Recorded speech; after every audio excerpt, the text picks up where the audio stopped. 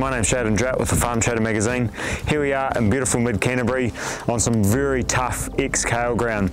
Behind me is uh, the Lemken Rubin 10, which is supplied by EuroAgri, and uh, this is a six metre version. As you can see, it's a very well presented machine. The paint quality actually is one of the first things that stands out. It's exceptionally well finished. Lemken themselves have been in business for 240 years. That's a, a, very long time for a machinery manufacturer to, uh, to be in business. And there's a couple of features on this machine which really stand out and it just really goes to show how much time they've had in the game. So if we start at the front here, uh, this is drawbar mounted. You can also get a two point hitch. Uh, but what we've got here is, it's hard to see from the side, but this is all profile cut.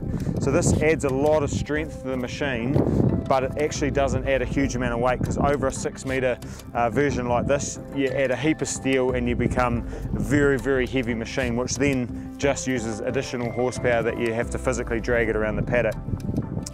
Another key feature uh, on each disc has a coil spring. So if you look at this one, it's easier to see from the side. The coil spring allows this disc and this leg, which is, uh, allows the weight to be straight on the disc so you get great ground penetration which in conditions like this is exceptionally important.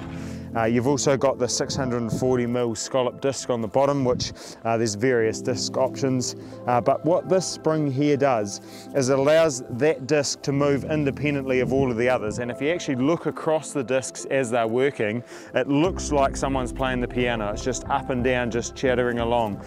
That allows two things. One is that the stress isn't being put through the frame as they all move independently. And secondly, unlike rubber mounted ones, if it hits a rock or a, piece of wood or some obstacle, it, that disc will just pop up and go over it as opposed to the whole machine having to, to lurch up over the obstacle. If we then move back here, uh, we've got these springs which as the trash comes up it hits that, drops it straight back down. That allows the second row of discs to chop it. The other thing here I really like, this is actually a really cool little feature. This is nice and handy that you can just twist that to go up and down. The beauty of that is, is it actually, uh, people will get out and adjust it. So it's nice and simple, just another great little uh, piece of engineering. If we go back here, we've got these hockey stick leveling paddles. So it's a little bit hard to see because they're in the dirt.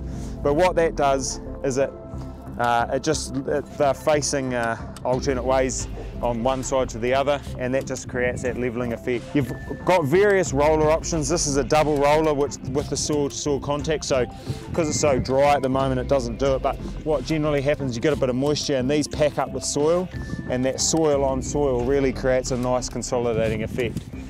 At the back we've got the large transport wheels uh, which also do the headland turning. If you come around here the main feature of this set of discs, which is different to every other set of speed discs, is that these have discs that are left and right facing.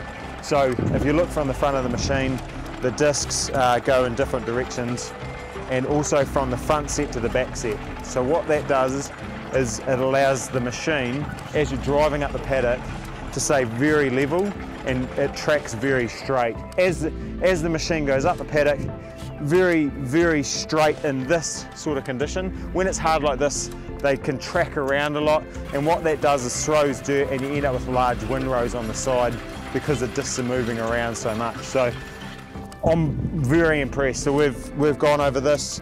This is two pass. Um, I can't stress, it was literally like concrete. To get to this in two passes is exceptional. So um, check out the video and the drone footage, which really goes to show what this machine can do. That's at farmtrader.co.nz, the upcoming uh, review in the magazine, and also on the social media applications.